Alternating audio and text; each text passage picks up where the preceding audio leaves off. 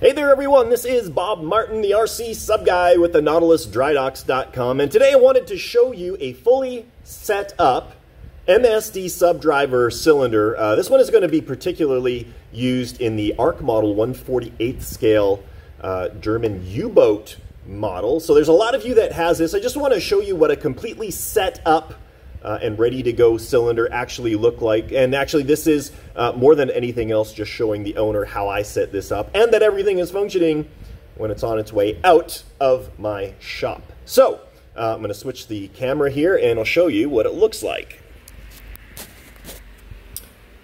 Here is the uh, overall cylinder. Uh, we got a brand new battery in here. We have a remote switch unit, gas backup.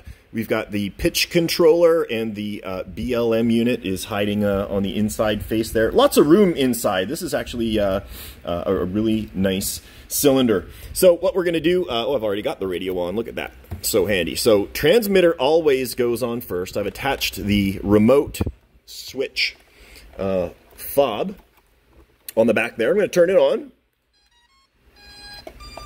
You heard that startup sound. Those are the electronic speed controllers confirming that they powered up and that they are receiving signal from the transmitter. So uh, let's start with the uh, functions here. We've got the forward dive planes. Those are all hooked up. The other uh, servo is not hooked up. The gentleman had just one servo lead run through, so I'm assuming that's what he wants uh, to do. We've got our rudder output. Uh, we have our uh, throttle. Those are contra rotating. On the back of the unit, on channel 6, on the, on the back there, these buttons, we have the remote override for the automatic pitch controller.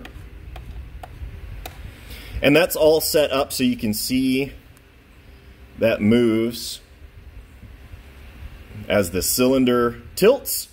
Uh, and then we've got ballast, and uh, you can see uh, the pump. Well, maybe you can't see the the pump actually kicks on. There you go. When you push up on that back switch, and then it vents the tank in the other direction. Now, it's important to note that when I hit surface, that uh, arm is not depressing that valve because I don't want to blow gas in here every time. Uh, that's really just for an emergency backup. But I'll show you what that looks like. I'm going to simulate loss of signal by turning off the transmitter. And the servos are going to go a little crazy and the speed controller is going to go crazy. I programmed in a 4 second delay and a 10 second blow. So let's see what that looks like. One, two, three, four. That gets depressed, blows the ballast, comes back up to the surface, signal is regained, turn the transmitter back on, and we're back in operational condition. So, uh, that's it. Everything is all ready to go. Uh, ran the transmitter, or sorry, the receiver antenna out this uh, hose, this latex hose, so that uh, you can stretch it along the hull and get maximum reception. And also you can blow into the end to test for leaks. Um, I am going to make a note here. This is a latex hose. I, I, used it because it's a really nice diameter for this. Um, never use latex and copper or brass. Um, it kind of liquefies the rubber. So this has got a actually an aluminum sleeve there and a stainless cap. So just a little note, a little hint for anybody who uh, is looking to use latex uh, in their plumbing. So there you go. Uh, fully set up and operational and trimmed and tested uh, MSD watertight cylinder. Uh, I hope this helped you. Uh, maybe you found it a little interesting. By all means, if it's cool, subscribe. Got lots of cool stuff going on.